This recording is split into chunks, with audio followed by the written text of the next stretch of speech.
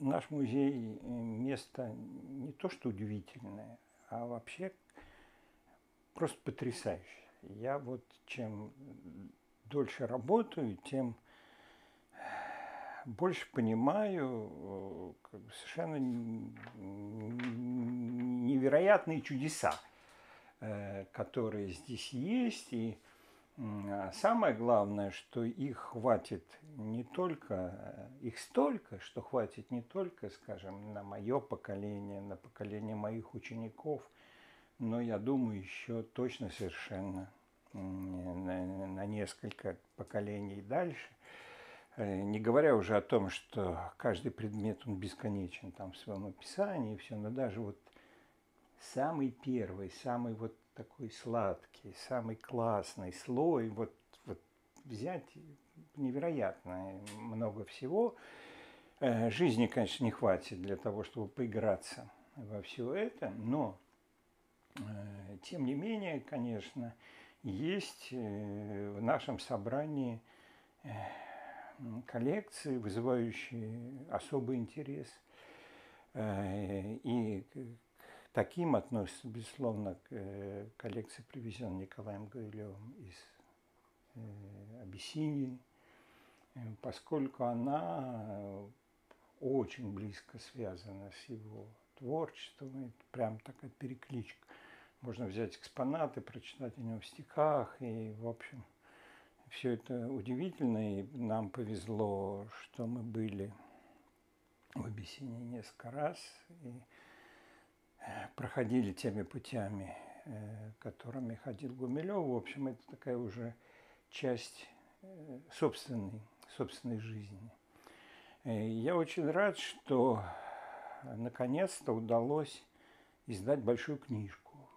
Вот это так она, так она выглядит называется «Абиссинский калям» и посвящена э, исламу в Эфиопии.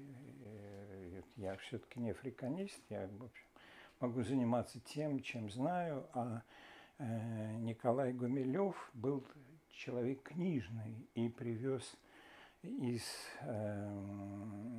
Харара, в первую очередь, из такой культурной столицы эфиопского Петербурга да, значит, в некоторой степени э, исламского Петербурга, значит, привез э, замечательную коллекцию рукописей, переплетов, переплетных принадлежностей.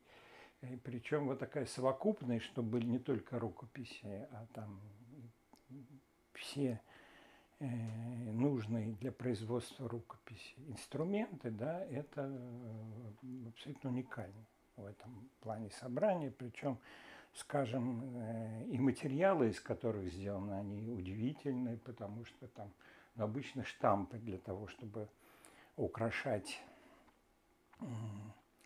переплеты рукописи делаются там металлические, иногда из твердых пород дерева, да, а здесь из кожи гипопотама, например, такая такая редкость. В общем. Короче говоря, масса всего интересного и с точки зрения э, специалиста вот такого узкого-узкого моего профиля я там мог играться во всем. Но вот я эту книжку написал, и, и отрываться мне от нее безумно не хотелось. Было, э, я так радовался, когда ее писал, это было настолько замечательно. Я вновь переживал всякие разные приключения, которые были, и удачи, и неудачи, и все. То есть я, пока ее писал, я лет на 15 помолодел. Вот, вот прямо вот за этим столом я, в общем,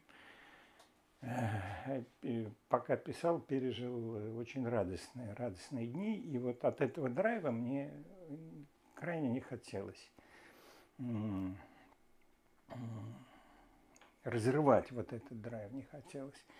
И э, слава богу, что такая возможность предоставилась, потому что у нас э, есть в нашем музее еще одна коллекция.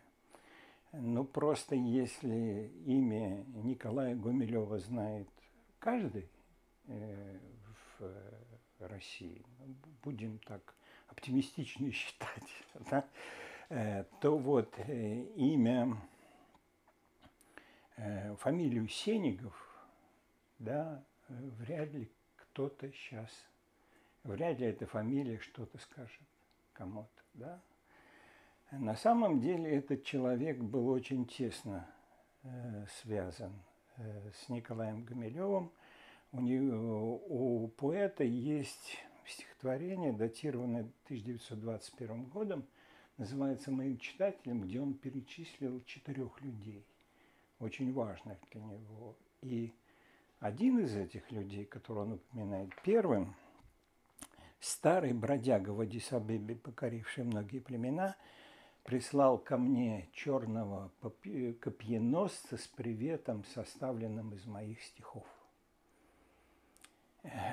И Евгений Всеволодович Сенигов, э, человек, конечно, потрясающий. Чем больше я э, занимаюсь, тем, тем мне интереснее. И вот сейчас как раз вот самый, самый пик э, работы. Значит, у нас Сенигов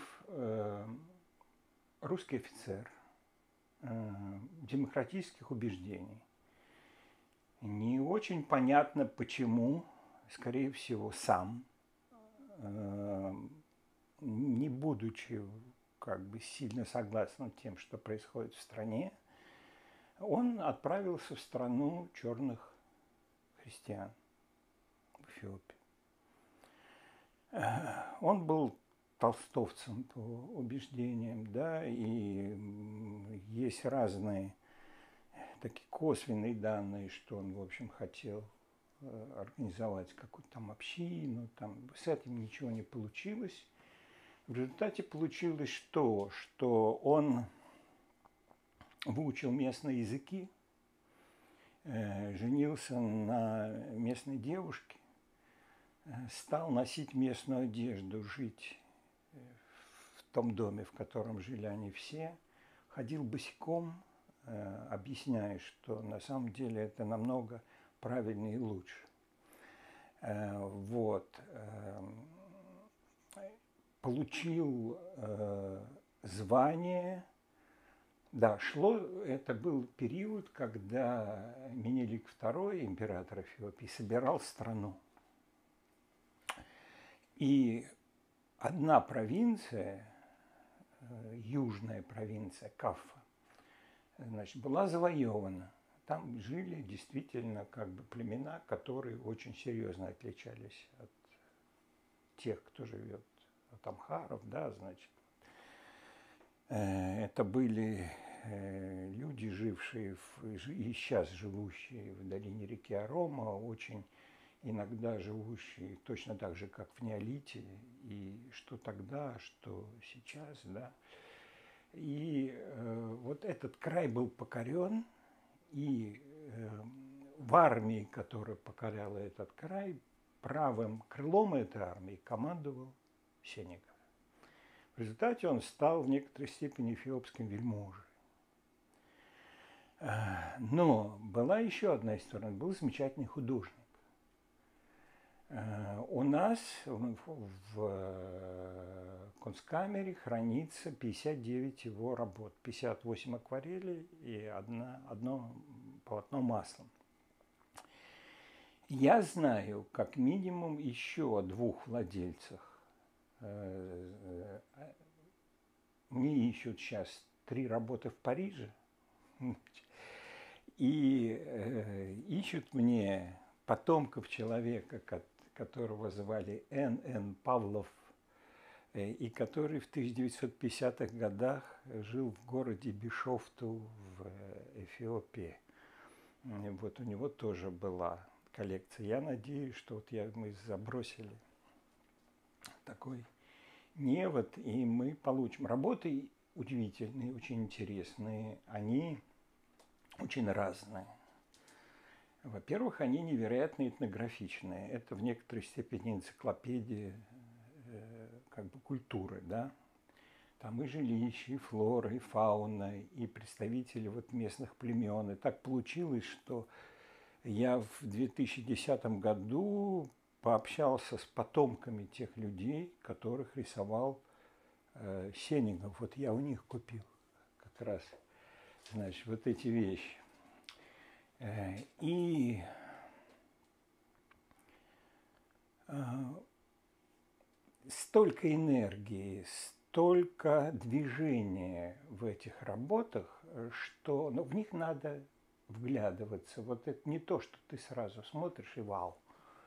Значит, здесь э, требуется, как бы сказать, какой-то период адаптации, чтобы ты, э, вот такая яркость красок, такой динамизм, чтобы ты мог осознать, даже вот, скажем, пейзаж, а где-то вне, пейзаж с крадущимся человеком. Вот человек крадется маленький внизу, но э, как только ты понимаешь, ты видишь этого крадущегося человека, и пейзаж меняется, вдруг меняется вся его тональность, да, значит.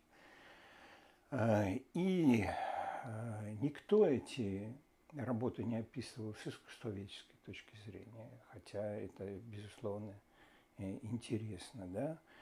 Сенегов много жил, на самом деле, рисуя.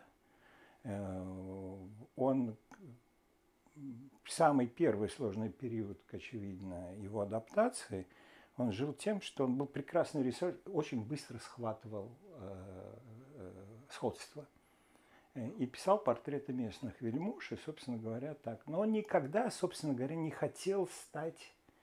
Э, у него была, как у нескольких русских, сделавших в этот период карьеру в Эфиопии, а это первые десятилетия 20 века, скажем так, да. Значит, у него была такая возможность, но он чересчур быстро стал эфиопом. И уже для, как бы сказать, для эфиопского двора он чересчур стал, он уже был, как бы сказать, не... Э, все равно, что к Петру Первому приехал бы француз, но который стал ходить в лаптях, да, и куда его на, на ассамблею приглашать. Вот. Короче говоря, э, работы эти живописные э, невероятно интересные, мы их не просто публикуем, мы на каждую работу ищем контекст. Тексты, фотографии, рисунки, такая перекличка идет. Это мы погрузились в эпоху, делаем эту книгу вместе с Валерией Семеновой африканистом нашим.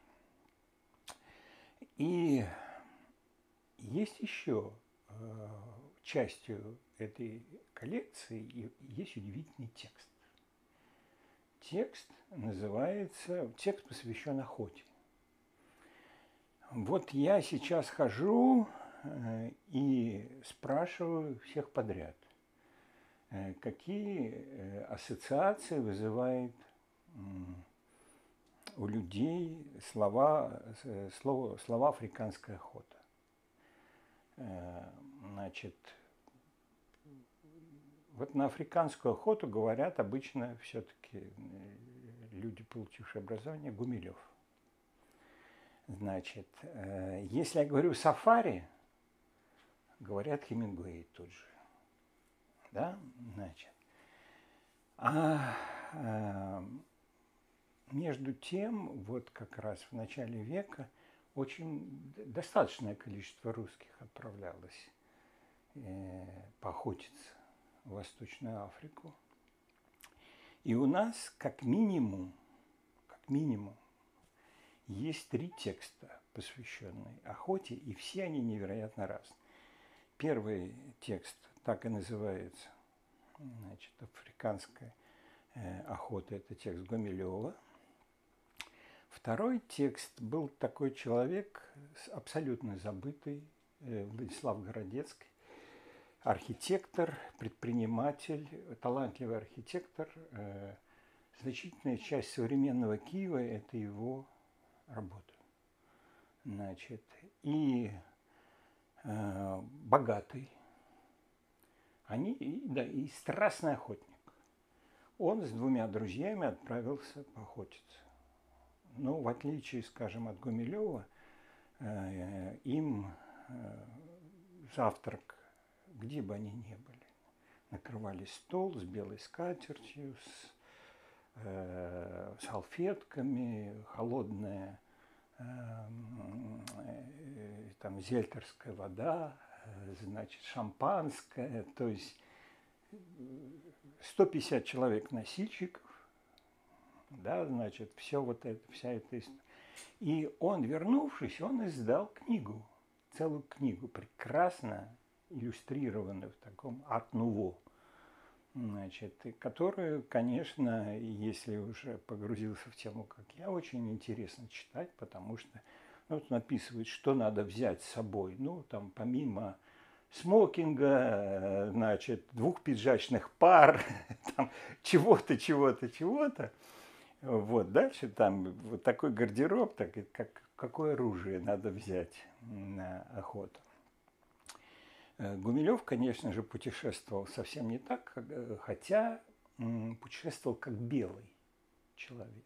Да? И его, его могли приглашать. Его действительно он описывает охоту, когда эфиопский сановник его пригласил, устроил такую загонную охоту для него. Вот он все это описывает. И это, конечно, текст литературный, с массой реминисценций, которые потом этот текст откликается и, и в стихах, и в прозе. Все это так, как всегда, у Гумилева э, многоэтажно. А вот текст Сенегова, он абсолютно другой. Дело в том, что э, Сенегов называли «белый эфиоп». И эта рукопись его, которая у нас хранится, она так и подписана «Абиссинец Сенегов». Значит, и описана охота глазами эфиопского вельможи со всем ритуалом этой охоты. Но вот я все-таки э, там, историк, этнограф, неоднозначно интереснее читать э, Сенегова. Там масса Э, текст очень живой, хотя там масса всего. Вот он сидит и вспоминает родину, например, да, смотря там на небо. Вот, есть, вспоминает, как воевал, там э, рисует много в лесу, да, там вот масса есть таких отсылок, которые нам помогают, поскольку крохи архивных материалов, крохи, реально.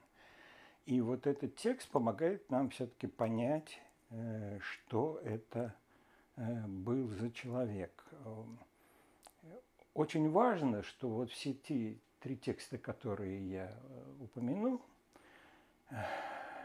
все их авторы обязательно пишут о детских книгах, которые побудили их поехать в Африку. Там Майнрид условный, да, хотя этот Список очень-очень большой.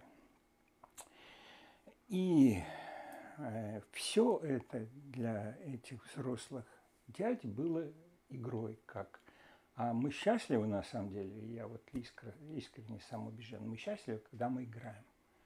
И вот этот плеск счастья, который эти люди испытывали, который мы видим в этих текстах, да, вот он из детства. Я сам вот там, где сейчас большой кусок Васильевского острова была, когда я был э, там десятилетним мальчишкой, там была пустошь.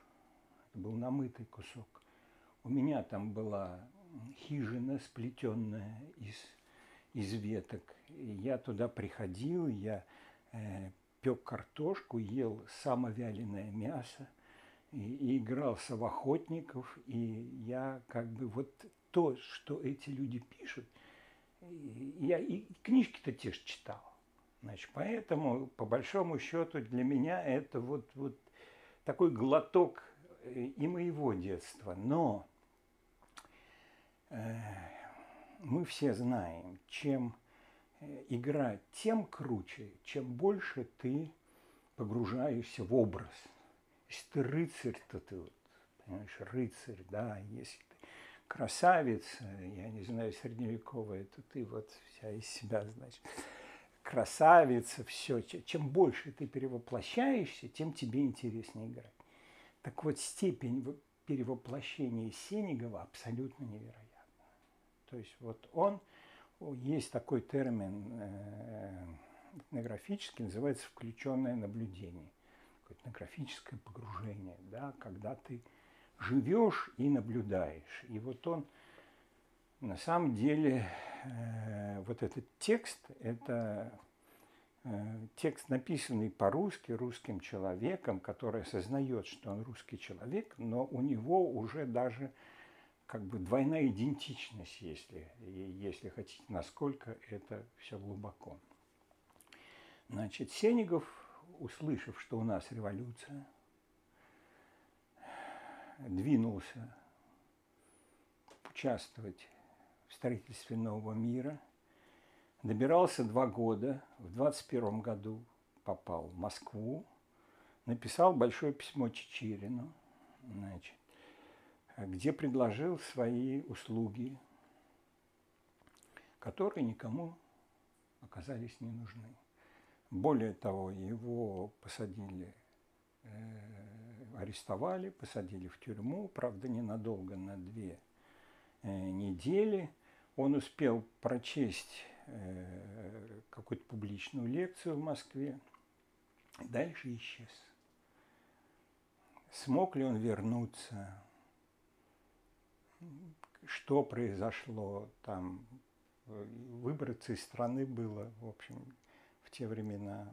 С одной стороны, может, проще, чем сейчас, но с другой стороны, э, тоже, тоже не очень просто. Как бы там ни было, Э, в середине 30-х годов к нам в музей пришла женщина, представившая, представившаяся ее, его женой. И часть вот этих работ, которые э, у нас есть, она подарила, и она подарила вот этот вот его музей, его дневник. Э, так что вот судьбу его дальнейшую мы не знаем. А для меня это еще очень важная история, потому что советский журналист в 1979 году оказался на границе э, Эфиопии и Кении. Ему француз показал деревушку, такое местечко под названием Лакиначи, показал вот здесь вот дом, э, а в этом доме жил русский художник – и там были русские книги, и э, нашли они русские книги, значит, на которых был написан Сенегов. И там как раз этот француз купил несколько, несколько своих работ. Я поехал искать в 2010 году этот дом, этот городок. Он был на, на карте Google. А у меня был спутниковый телефон в те годы, это вообще супер гаджет. Я, значит, был такой крутой, игрался, значит, он позиционировал мое место, дочка следила онлайн за моими перемещениями, потому что там, в общем, э, такой треугольник границ Кении, Эфиопии и Судана, не самые безопасные места. Все было совершенно замечательно – пока э, не выяснилось, что в этой части Эфиопии в гости, даже в гостиницах нет электричества. И как бы весь этот мой гаджет супер навороченный превратился просто в грузик. Э, вот. И дальше мы пытаемся найти этот город. Его никто не знает вообще. Значит, потом, наконец, какой-то одноногий э,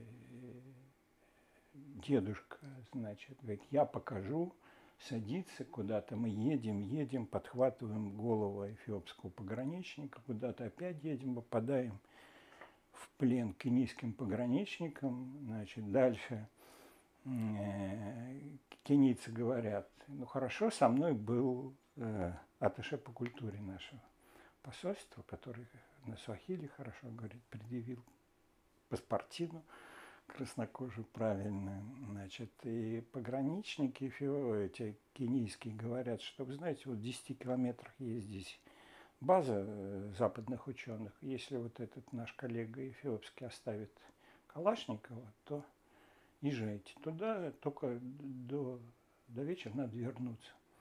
Мы туда съездили, я помылся, подключился, значит, нас покормили.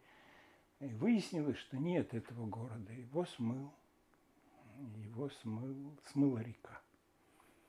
И последнее, что я смог сделать, но у меня уже заработал, значит, телефон, и можно было определить э, место, где мы приехали на место этого значит, городка, там такое, такое болото. Я взобрался на крышу, чтобы показать. Но я был, ребята, вот здесь, значит, э, на крышу джипа поснимал, что увидел вокруг, ничего не увидел.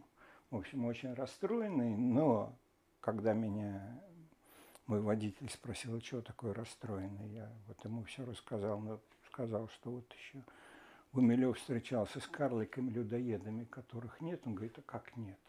И дальше началось новое, новое приключение. В общем, короче говоря, я продолжаю жить э, всеми этими историями и не только историями 2010 2008-2010 года, когда мы там были, а и историями моего детства в том числе, потому что я тоже играюсь, теперь играюсь вот в то, что пишу вот эти книжки, погружаясь в этот удивительный, потрясающий, невероятный мир. А сейчас в, в Эфиопии, к сожалению, там война, и вот так как мы ездили, конечно, сейчас там легко и свободно. При любых всяких возможностях уже так не поедешь.